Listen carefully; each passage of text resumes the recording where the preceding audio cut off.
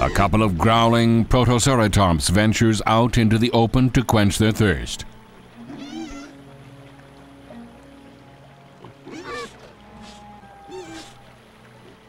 This is a risky moment for them, leaving the safety of their territory for the shore of the stream.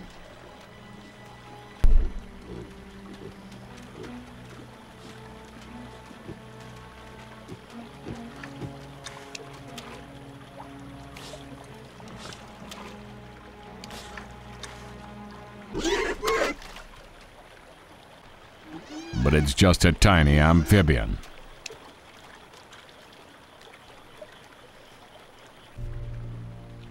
They let their guard down, forgetting that danger lies all around them.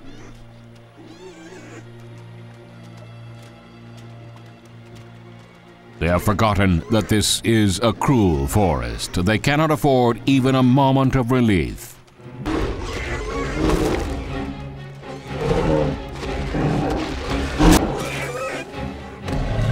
Jaw muscles of this ferocious the dreadful Tarbosaurus is the undisputed ruler of this domain, the mightiest predator to roam this land.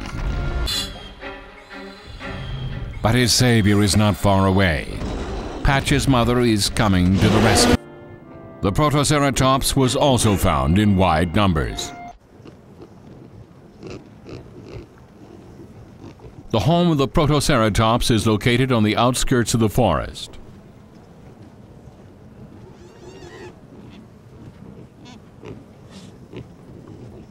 They live in groups and eat tree roots or insects found on the ground to scrounge for food. The Protoceratops, around 2 meters tall, is sometimes known as the pig of the dinosaur era.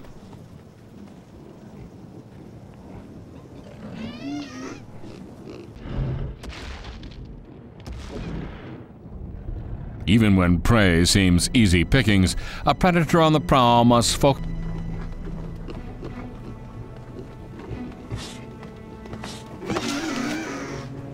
The mother Tarbosaurus has chosen her target. It is the one off by itself, trying to take a mud bath and avoid the annoying flies. Her heavy frame shakes the ground as she rushes. But the Protoceratops are not an easy target. What they lack in size, they make up for in speed and agility. Exhausted from the heat, the seven-ton Tarbosaurus can't run for very long. Owing to her massive size, her bones could break her, but merely lived as one part of it.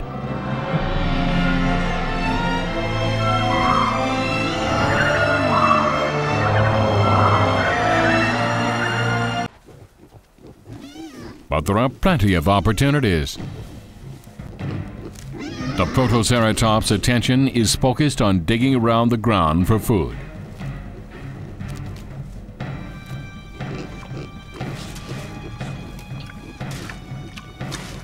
They fail unless he finds their weak point and quickly overpowers one.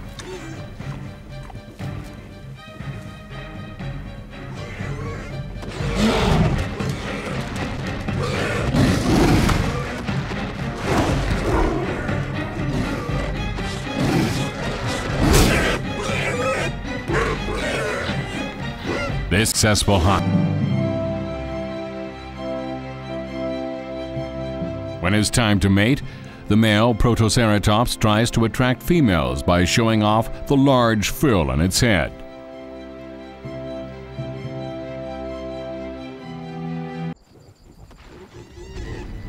Patch and his wife have found their prey.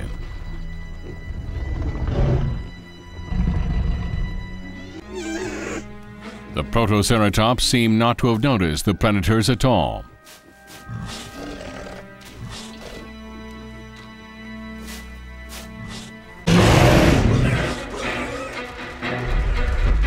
With all the speed he can manage, the Protoceratops tries to flee, but he never imagined he would be galloping into an ambush.